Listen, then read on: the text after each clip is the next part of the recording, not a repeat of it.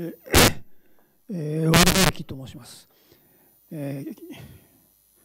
えー、この私たちの企てにつきましてまず最初にあの即時停戦今こそ停戦をというあの私たちの訴えはあ国際的な広がりを持っているとこういうふうに考えております。それで、まあ、一番顕著なのは、えー、ドイツの動きです。ドイツではあの、えー、停戦を求めるそういう動きが4回ありました。我々も日本でもウクライナ戦争が始まった直後から3月15日の声明から4回今度私どもこの4回目の声明でございますがドイツでも4回やっています。で、えー、ドイツでは、まあ、緑の党の長老だったああフォーメルという女性の方が最初から中心になって進めておられました。その方はもう4回目の声明に加わられた直後3月に亡くなられました、えー、生涯をかけてなさった行動だったと思います。でこの一番最後のものが本年の1月に出ました、えー、それは、えー、2月の10日ですね。2月の10日に出ました。それはショルツ首相が最終的にレオパルド2という新鋭戦車を提供するということに対する批判です。それで、えーえー、そのようなあ武器を供与するということをやめてそして、えー、停戦の方に進まなければならないと。えーそうならないと世界戦争になってしまうというそういう非常に危機感を答えて、え声明を出しました。ドイツの左翼党という最左派の政党ですが議会の中で30の議席を持っている一番小さな党ですがその党を中心になって声明を集めましたところ署名を集めたところそれは2月のうちに70万77万の署名だということになっております。でドイツの中の相当相当の部分の国民の中に、えその意見が起こっているとでそういうものとショルツ首相は対面しながらしかしやはり、えウクライナに戦車を提供しなきゃならんということで、えしているとこういう対峙状況がドイツの中にあるということですね。で我々の方の声明について4回目の声明につきまして今度は G7 の広島の会議に各国首脳バイデン大統領それからイギリスのスナク首相をはじめとして G7 ウクライナ戦争を進めているその勢力の代表者が集まります。そこに対して我々の意見を出そうということでありますが、えーえー、この我々の声明の趣旨のうちのもちろん一番重要なことはあ今すぐ停戦をということを呼びかけているので、えー、G7、NATO EU の国々はあ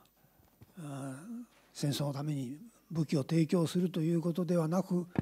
むしろ交渉のテーブルを用意するように努力してほしいということをいうのが一番の要求点です。しかしそれと同時にもう一つ私たちの声明としてはウクライナ戦争というものを停戦の方向に向かって進めると同時にこのウクライナ戦争を拡大しないで拡大しないでほしいと拡大してはならないそういうことの主張であってで特に、えー、いわばロシアの、ロシアのいわば広配置にあるこの東アジア東北アジアにおいて、えー、ロシアに対して軍事的な圧力を強めるというような形で、えー、この戦争のに対処しようとする動きには反対だということです。えー、そうでなくても東北アジアは非常に深刻なああ緊張状態軍事的な対峙の状況にありますので、えー、ウクライナ戦争をこの地域に拡大するということに対して我々はあくまでも反対すると。そして、えー、日本はああ中国ともそして朝鮮とももしてももちろんロシアともですが戦争をするということは考えていないと日本の政府の態度は少々怪しいですけども国民はそういう気持ちが全くないし、えー、中国との戦争そして朝鮮韓国との戦争というようなことになればそれには戦わないと国民はそういうことを宣言するというそういう声明になっておるということでございます。えーえー、私の最初のご説明は以上でございます。じゃあ伊勢健さんお願いします。はい、えー、なるべく手手短に、えー、いきます。えーと、この私たちの即時停戦のアピールに対してさまざまな批判があることは十分に承知しております。特にあの停戦の工作の実務家の僕にとってはこれ全然初めのこと初めてのことではないんででその一つのそのそういう批判の一つ一つになぜ G7 に向けてなのか停戦はロシアにこそ言うべきではないのかというものがあります。はい、はい、これは十分に理解できる批判であります。だからこそこのアピールのメンバーのほとんどが含まれる憂慮する歴史家の会は昨年7月に我々日本の研究者だけではなく決着のつかないつかない戦争において停戦が長引くことの痛みを誰よりも知る韓国今日はメディアが来ていただいてありがとうございます。それを誰よりもする痛みを知る韓国の研究者合計総勢100名の有識者の連名でロシアの侵略行為を糾弾した上で人道的観点から停戦のための対話の仲介を要請する声明文を国連事務総長宛に送りました。これが去年の7月です。その中の一節を読み上げます。短いです。言うまでもなく停戦は講和ではありません。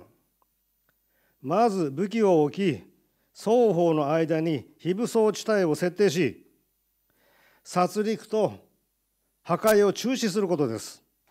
国連及び国際社会はまずこの停戦を実現すべきです。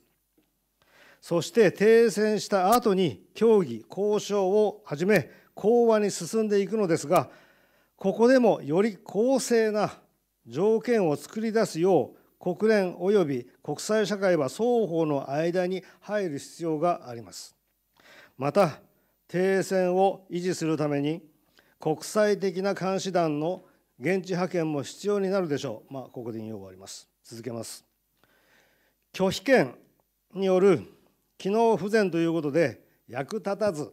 という批判を受ける国連安全保障理事会ですがその前身の国際連盟の経験からこの拒否権とは主要国の脱退による世界大戦の勃発繰り返します主要国の脱退による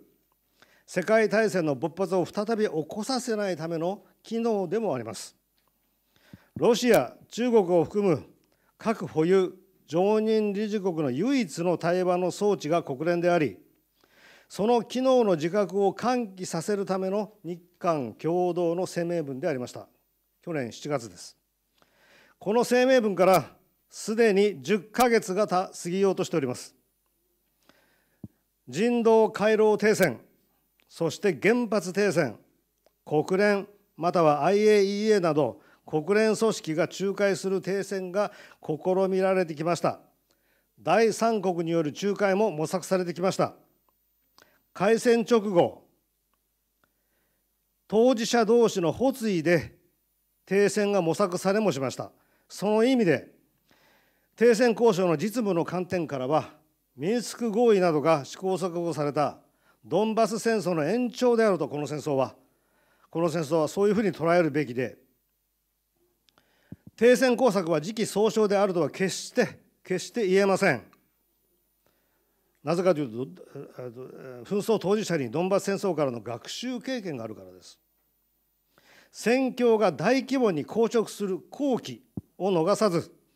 対話の再開ですね。あえてこの言葉を使います。対話の再開を目指すべきです。そして現在戦況は東部バフムートの戦闘が象徴するように文字通り膠着しております。そして今 G7 のリーダーたちが日本に集います。今回ロシアを含ま含まない G7 にあえて私たちが停戦即時停戦を訴える理由はただ一つ。このウクライナ戦争が G7 特にアメリカの代理戦争だからです。この戦争の本質は代理戦争です。当事者が祖国のため命を懸けてどんなに自発的自発的に戦っていようと自分が戦わずに敵を倒したい外部の主がいてその当事者に武器兵器を供与する限りそれは代理戦争と言います。かつて冷戦期のアフガニスタンに社会主義政権が誕生しました。しかし政情は安定せず内戦に突入します。同政権を助けるために1979年国連憲章51条上の集団的自衛権を名目に僕は悪用だと思います。アフガン侵略を決行したのが当時のソ連です。巨大な赤い侵略者ソ連に圧倒的に非力な軽武装のアフガンのムチャヒディンたちは祖国のために死に物狂いで戦います。大変な苦戦を強いられますが途中からゲームチェンジャーとなったのはアメリカが供与した最新鋭の携帯ミサイルです。スティンガーですね。これは映画になっております。トム・ハンクス主演のチャーリー・ウィルソンズ・ウォーです。ぜひご覧になってください。ここから交戦は逆転し攻勢は逆転し軍閥たちムジャヒンたちは10年をかけてソ連軍に勝利するのです。今回のウクライナ戦争ではウクライナ東部のロシア系住民の自決運動を助けるために同じ集団的自衛権を名目に僕は悪用と思っています。ロシアは侵攻し侵略しアメリカと NATO の供与する兵器が現在の戦況を左右するゲームチェンジャーになっています。同じ構造です。学説上僕一応学者ですから冷戦期の典型的な代理戦争として位置づけられている冷戦期のこのアフガン戦争を代理戦争と呼びこれ定着しております。現在のウクライナ戦争をそう呼ばないのはどうしてでしょうか。この戦争はロシアによる一方的な侵略戦争でありウクライナは自衛をしているだけだ。代理として戦っているわけではない。命を懸けた祖国への忠誠心を汚すのかという意見があります。しかしそれは当時のムジャヒディにとっても全く同じです。彼らも祖国のため命を懸け今と今のウクライナとは比較にならない非対称の自衛戦を戦いました。まさかまさかですが肌に色がある人々の祖国への忠誠心はそうでない人種のそれよりも劣るとでも言うのですか？侵略者に対抗する精神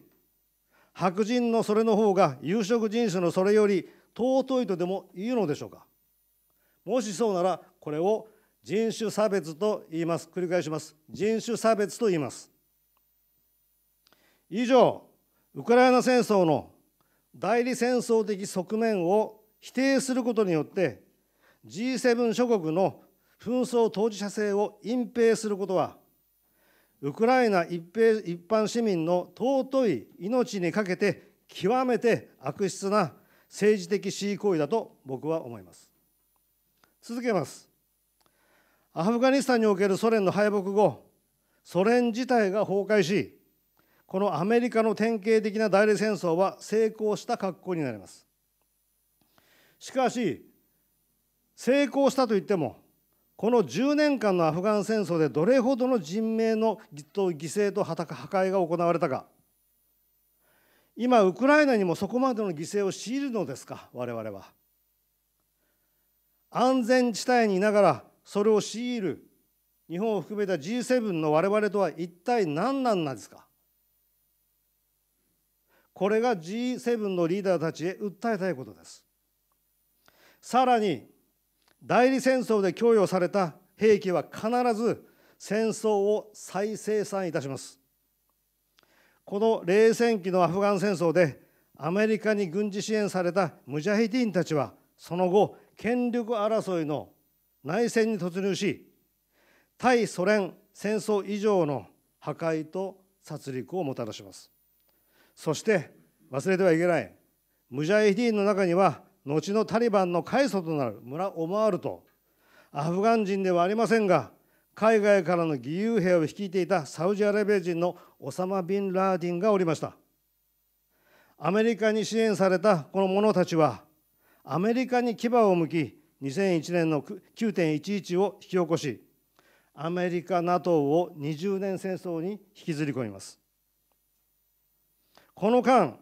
アメリカの占領政策の一環で私が日本政府代表として責任を負いムジャヒディンたちの武装解除させた武器はこの冷戦期の対ソ連アフガン戦争の時のものです。そしてご存知のように2021年8月アメリカ NATO はタリバンに完全敗北します。繰り返します。代理戦争で供与された武器兵器は戦争を再生産します。そして最後に G7 リーダーが広島に集う意味についてです。それは彼らがしばしば口にするウクライナ国民の戦う総意への支援。総意について最後に述べさせていただきます。この戦争で犠牲となるのはウクライナ人でもそれは彼らの自発的な自発的な戦う総意なのだからという意見があります。総意とは一体何なんでしょうか？戦いたくない。それが妥協を意味してもこれ以上は嫌だ。平和を望むという声。そういう声はウクライナには全くないと誰が言い切れるんですか？たとえそう思っていても口に出せない。戦時の熱狂とでも言いましょうか。かつてそういう状況を経験した日本人だからこそこの勝つという同調圧力の熱狂がどういう末路に至ったかそれを考えるべきなのではないでしょうか。そして訴えるべきではないでしょうか。その末路の象徴である広島に集う G7 のリーダーたちへであります。以上です。ありがとうございましたはい、えー、幅でございますよろしくお願いします。えー、2度目の記者会見ありがとうございます。えー、先日に申し上げたことが基本でありますけれども、えー、新しい事実も出てき、まあ、猶予ならなくなっているので簡単に今最も重要なことを申し上げたく思います。えー、停戦はその段階での勝ち負けを論じるものではなく文字通り戦争を停止するということです。何のためかえー、沖縄語で「え、ぬちどう宝」という言葉がありますけれども、うん、そこに住む人たちいる人たちの命を守るためでありこれ以上国土を、えー、荒廃させないためでもあります。えー、現在世界の分断が始まっていて、まあ、アメリカイギリスそれから欧州そのものの内部分断そしてそのグローバルサウスの新しい動きというのを見ていないと思います。1つ目、えー、最も危険なのはイギリスが、えー、この3月の後半から劣化ウラン弾をウクライナに供与しているという事実ですそしてそれに対してロシアがベラルーシに戦術核兵器の配備を命じたという事実です欧州の東端で核戦争の危険があります。まずはイスライギリス軍の劣化ウラン弾の供与を中止し撤回すべきです。これが1つ目。2つ目は今停戦すればロシアが東部ウクライナに残るのでえ国境からロシア軍が撤退するまで戦争を継続すべき。という今回 G7 のえプレ会議で出した論理です。これも国民のえ犠牲を考えていないと思います。日本の雰囲気というのは最もアメリカに近いですがえフランスのマクロントルコそして最近は中国の王毅が外相が停戦を進めています。えー、力が互角の時出ていくまで戦争を続ければ結局のところ膨大な死者が出ます。先ほどの日道宝人々の命を守るために戦争を即時停止すべきです。3つ目はアジア・アフリカグローバルサウスの動きです。これは国連総会で繰り返し、えー、ロシア・ウクライナ戦争に関するあの、えー、決議が行われた時棄権するないしは反対する、えー、欠席するほぼ50カ国です、え、人口で言えば世界人口の3分の2を占めます停戦と交渉を求めているというのが彼らの、え、基本ですいわゆる G20 え、ここには中国インド ASEAN そして、えー、ブリックス諸国が全て含まれておりますけれどもこうしたグローバルサウスの動きを最近は無視できないということはさまざまな報道でも言われています。え、双方の間に国連中立軍、まあ、PKO による広い干渉地帯を設けてこれを攻撃することは強く禁じ砲弾やミサイルでえ干渉地帯を越えて相手の陣地を攻撃することも禁じる。こうした、えーま、干渉地帯の設置と、武装中立軍の、えー、干渉地帯への、え、常駐の中で、えー、戦争をまず止めるそしてそこから話し合いを継続するということが今グローバルサウス中国インド ASEAN すなわち G20 の国々から要望されていることです。この3つを簡単に説明して、えー、私の意見としたいと思います。1つ目は最も重要で危険なことは、えー、まあ、双方が核兵器を絶対にウクライナで使わないことを確約すべきであります。3月末にイギリス軍は劣化ウラン弾をウクライナに供与しました。これはもう過去形です。ロシアはそれに対してベラルーシの戦術核兵器を配備、えー、指示しました。えー、これは、えーとまあ、将来系というんですかね、えー、準備を進めているということですイギリスが劣化ウラン弾をウクライナに供与したということは非常に大変なことでありますがイギリスは劣化ウラン弾は核兵器ではないと言っています劣化ウラン弾は核兵器であり、えー、戦車を貫いて内部で爆発するだけではなくて人体と地球に残り長期に地域と人々を汚染します。イラク戦争でアメリカとイギリス軍が劣化ウラン弾を大量に使ったことは明らかになっています。セルビア・コソボ紛争でもアメリカは劣化ウラン弾をセルビアで使いイタリア兵が被爆してこれに EU が起こりヨーロッパで核を使うのは何たることか。いうことで大問題になりアメリカはヨーロッパには謝罪しましたこれらを照らし合わせると米英はウクライナ東部をヨーロッパとみなしてないということ EU を含めてウクライナ東部では劣化ウラン弾を使うことを容認したということです。これにロシアが戦術核を使えばウクライナ東部で核戦争になる可能性がありますが、えー、ここではあまりにもロシア国境に近いがゆえにロシアが核兵器を使うことは自国への影響を考えても使えないと思います。えー、ロシア国境と、えー、いわゆるあのロシアウクライナ東部は数十キロから100キロ程度、まあ、あの東京中心から八王子あるいは河口湖辺りのところですので逆にロシア側が使えないイギリスは核兵器ではないと言って使っているということです。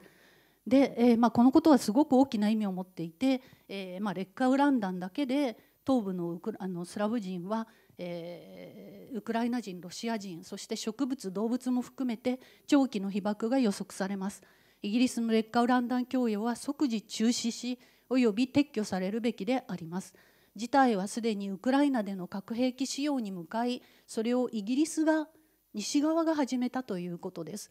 核の使用は劣化ウラン弾も含めて即時中止し、えー、劣化ウラン弾はイギリス本土やフランスにおいてはかな絶対に使うことがありえないとすればこの事実は先ほど、えー、伊勢崎さんも言われたように非常にカラードに対するあるいは、えー、欧州の東部に対する、えー、人種差別あるいはダブルスタンダードがあるということを認識すべきだと思います。